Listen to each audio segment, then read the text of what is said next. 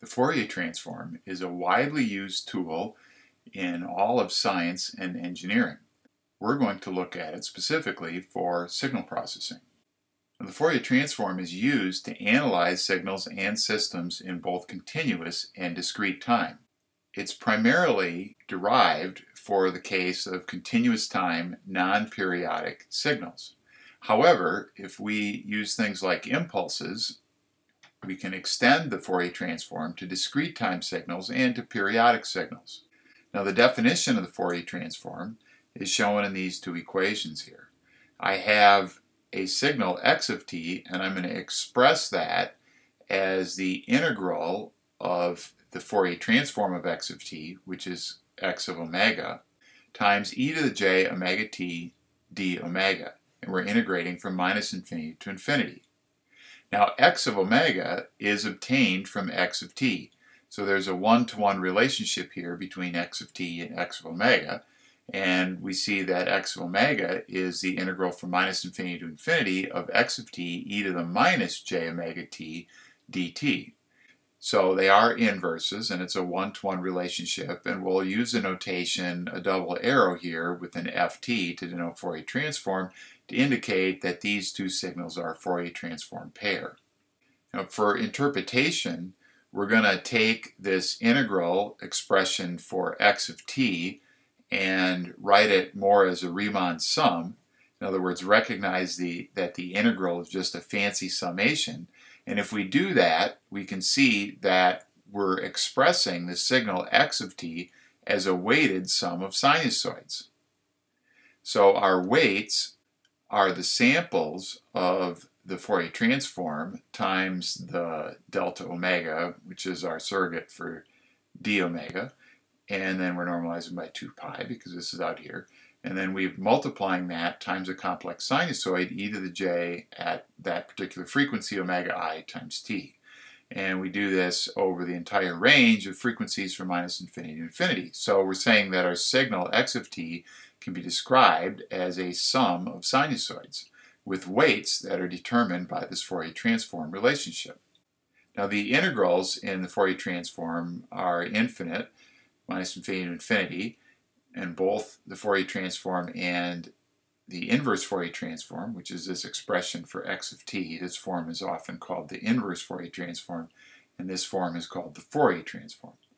But because of this fact that we're integrating from minus infinity to infinity, these integrals only converge for certain classes of signals. For example, signals that are absolutely integrable. So if x of t if I could integrate the absolute value of x of t and obtain a finite number, then I could obtain the Fourier transform relationship.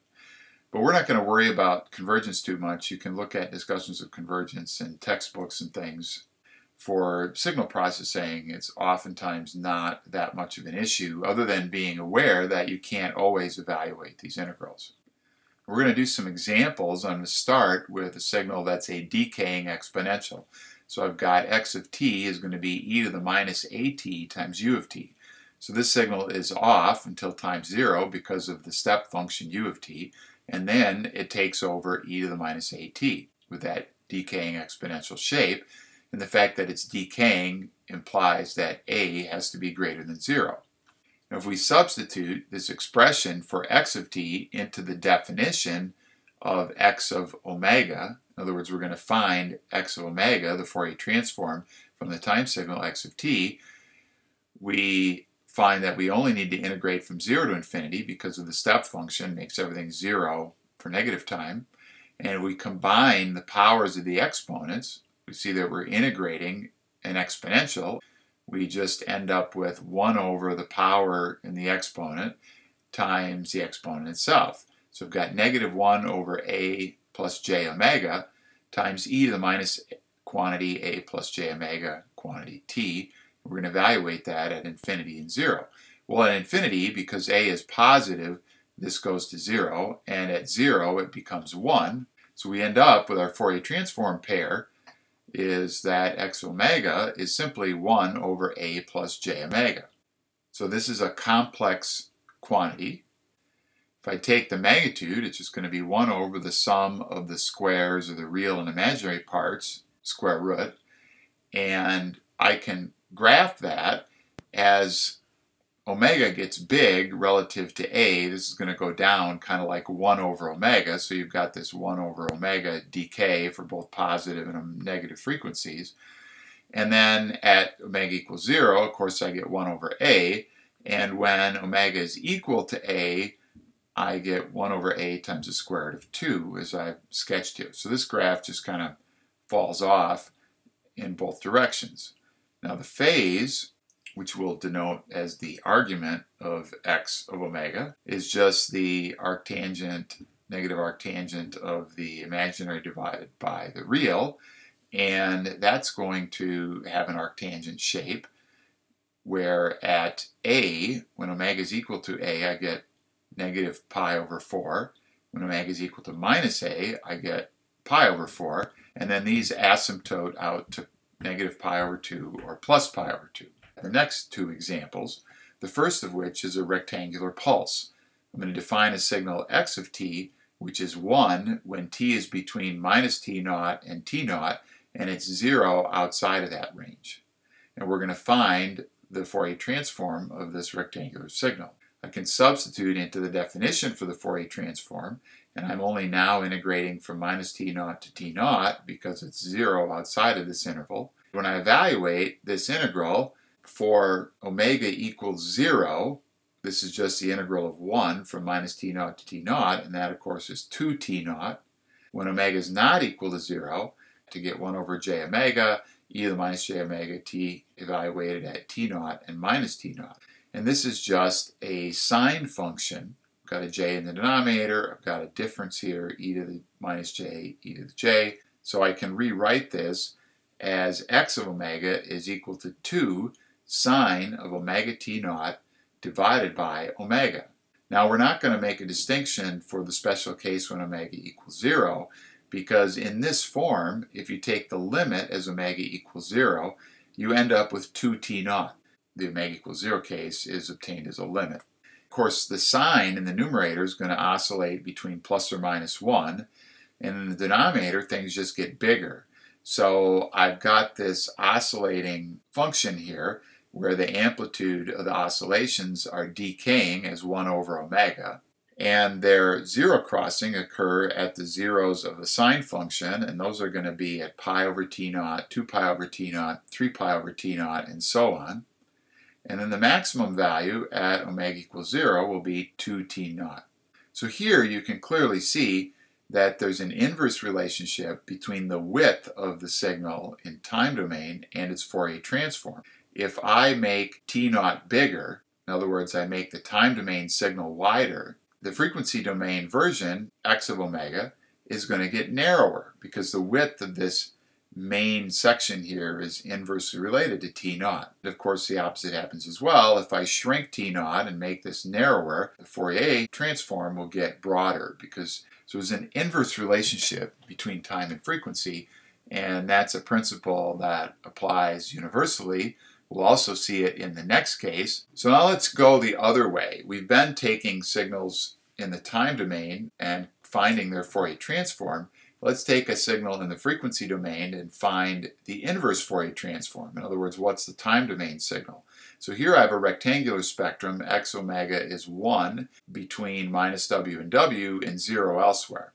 So if we apply the definition for the inverse Fourier transform, to find x of t from this x of omega, we see that we're just going to integrate from minus w to w e to the j omega t d omega. And if t is not equal to 0, I can write this as 1 over 2 pi. Then I've got the jt from the integration, e to the j omega t, evaluated at w and minus w. And as before, this ends up looking like a sine function. So I end up with 1 over pi t sine of wt when t is not equal to 0. And if I reevaluate this integral when t is equal to 0, then I'm just integrating 1 from minus w to w, and I get w over pi. We're going to write this, the time domain signal, x of t, as sine of wt over pi t. And we're not going to differentiate the special case of t equals 0 because if I take the limit of this function at t equals 0, I get w over pi. So it gives us the right answer. So we're going to write and assume that in the case of t equals 0, we're evaluating the limit. And it keeps our notation a bit simpler. So as before, we have this oscillating function. It oscillates because the sine oscillates in the numerator. And in the denominator, we have a t, so we're going to have a decaying amplitude as t increases. The zero crossings of this function are determined by the zero crossings of the sine, and those occur at plus or minus pi over w, plus or minus 2 pi over w, 3 pi over w, and so on. And then the amplitude at zero is w over pi, which is the maximum. We see the same phenomena that we did with the rectangular pulse. That is, if I make the bandwidth or the width of this signal in the frequency domain wider as I increase w, my signal is going to get narrower in the time domain and vice versa. The other thing that's kind of interesting is in the previous example we had a rectangle in the time domain and we've got this uh, sine x over x shape, which is something that's usually referred to as a sinc function. So we got a sinc function in frequency. So we had rectangular in time Fourier transform to sinc in frequency. Well here we found that a sinc in time has a Fourier transform which is a rectangle in frequency. So there's a certain symmetry between time and frequency. Now I want to consider the Fourier transform of an impulse. And this is useful as a mathematical tool Impulses, of course, are not signals that we can physically generate or see in nature. They do approximate large amplitude, short duration signals for us. But if I take x of t to be delta of t, as I've done here, and I substitute that into the expression for the Fourier transform and use the sifting property of the impulse, which means basically I'm going to evaluate this function at the time at which the impulse occurs, and that gives me the answer to the integral, I get e to the minus j omega t at t equals 0 is just 1. So x omega is 1. We see that we have sort of the ultimate of a narrow signal in time, and it gives us the ultimate of a wide signal in frequency. Now we can also do the other case where I have a impulse in frequency. In other words, all my energy is concentrated at zero and find out what time signal this corresponds to. Again, substituting the expression for the impulse into the inverse Fourier transform, we again have an integral of an impulse times another function, and the sifting property says we evaluate this function at the frequency in this case at which the impulse is located. So putting in omega 0, we find we get 1 for the integral, and therefore we have this 1 over 2 pi, so we have 1 over 2 pi for x of t. So in this case, we have the ultimate of a signal which is narrow in frequency, and we get the ultimate wide signal in time.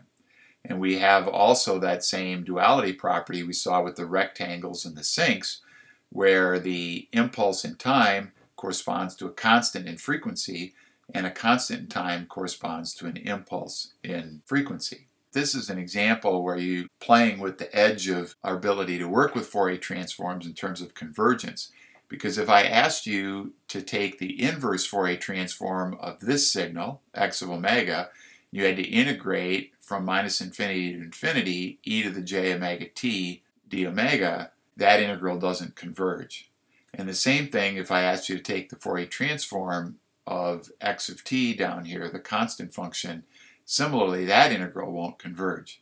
So whenever you see impulses floating around in Fourier transforms, you're right on the edge of, of things working. We use this as a Fourier transform pair because we can go at least one way and it works out actually quite nicely with some of the mathematics. So Fourier transforms are extremely useful as an analysis tool and they allow us to understand certain things about signals and we'll develop that more fully as we proceed in our journey.